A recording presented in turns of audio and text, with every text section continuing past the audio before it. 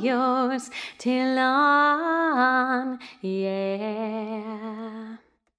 One happy birthday dot com.